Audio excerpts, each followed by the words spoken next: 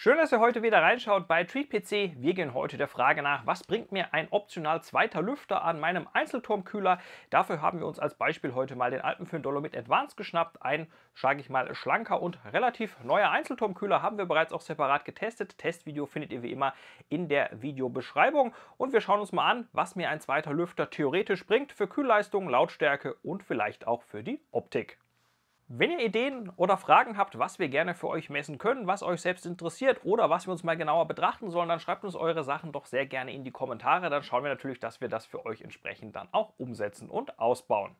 Zurück zu unseren Einzelturmkühlern.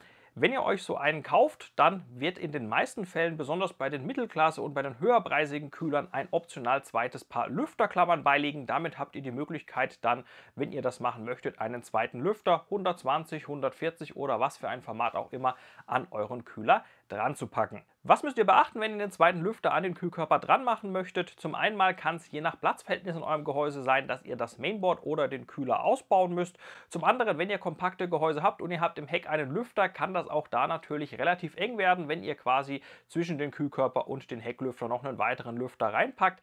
Wenn ihr euch dazu entschieden habt, einen zweiten Lüfter zu montieren, habt ihr ein sogenanntes Push-Pull-Setup, auch Sandwich-Design kann man dazu sagen. Wir haben den Kühlkörper in der Mitte, dann hinten und vorne einen Lüfter drauf. Der vordere Lüfter zieht kalte Luft an und drückt sie in den Kühlkörper rein.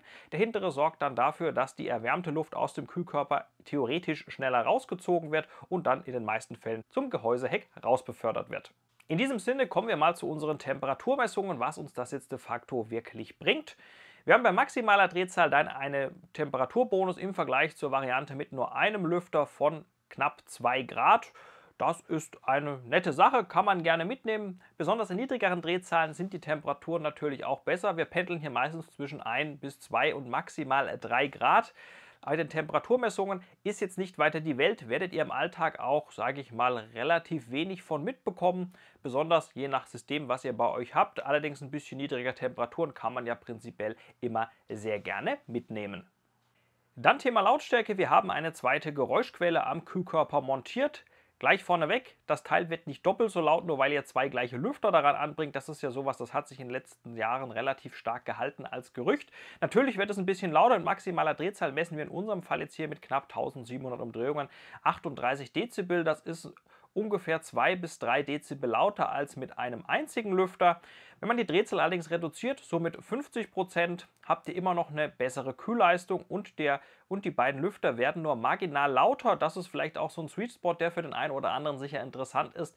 Wenn ihr ein Silent-System betreibt und ihr packt einen zweiten Lüfter dran, steigt die Lautstärke nur sehr marginal an, wie wir hier sehen können. Aber zudem habt ihr auch eine leicht bessere Kühlleistung. Das ist sicher für den einen oder anderen dann eine interessante Option.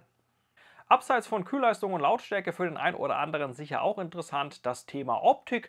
Wenn man einen zweiten Lüfter an einen relativ schlanken Kühlkörper dran macht, bekommt er nochmal so eine etwas bulligere Optik. Auch in Zeiten von RGB und Gaming-Systemen, die ja ohne RGB-Beleuchtung gar nicht mehr auskommen, ist das für den einen oder anderen optisch sicher eine interessante Option. Lohnt sich jetzt also abschließend ein zweiter Lüfter an einem Einzelturmkühler? Kann man pauschal so gar nicht so einfach beantworten. Wie gesagt, ihr bekommt eine etwas bessere Kühlleistung bei meistens erhöhter Lautstärke mit, kombiniert mit einer etwas bulligeren oder auch aufreizenderen Optik, wenn es um die RGB-Beleuchtung geht. In niedrigeren Drehzahlbereichen habt ihr bessere Temperaturen und nur einen marginalen Anstieg der Lautstärke. Da kann das durchaus interessant sein, abhängig natürlich von eurem Setup. Was ihr beachten müsst, ein optional zweiter Lüfter kostet ja meistens auch ein bisschen Geld, irgendwas zwischen 5 und 20 Euro, je nach Lüfter oder was ihr da haben möchtet. Auch das müsst ihr euch natürlich ins Gedächtnis rufen. Die 20 Euro könnt ihr aufgrund des marginalen Vorteils oder auch der gestiegenen Lautstärke vielleicht auch eher in eine andere Komponente investieren. Liegt schlussendlich bei euch selbst. Auf jeden Fall für den einen oder anderen kann es eine interessante Option sein, vor allen Dingen optisch wenn es individuell passt, finde ich, da spricht nichts dagegen. Auch in niedrigeren Drehzahlbereichen, wie gesagt, kann man das durchaus machen. Allerdings sind wir natürlich noch an eurer Meinung interessiert. Wie findet ihr das Thema zwei Lüfter am Einzelturmkühler? Habt ihr Fragen, Anregungen, Kritik oder auch gerne Feedback? Dann schreibt uns das doch sehr gerne in die Kommentare. Ihr wisst, da freuen wir uns immer sehr drüber. Und auch wenn ihr Ideen für weitere Messungen habt, ist das immer sehr, sehr gerne gesehen. Ja, in diesem Sinne bedanke ich mich recht herzlich, dass ihr heute wieder bei uns reingeschaut habt. Und ich würde sagen, wenn euch unsere Arbeit gefällt, freuen wir uns über den Daumen nach oben, ein Abo und wenn ihr die Glocke aktiviert, dann verpasst ihr keines mehr unserer Testvideos. Und dann sehen wir uns beim nächsten Mal bei TreatPC einfach wieder.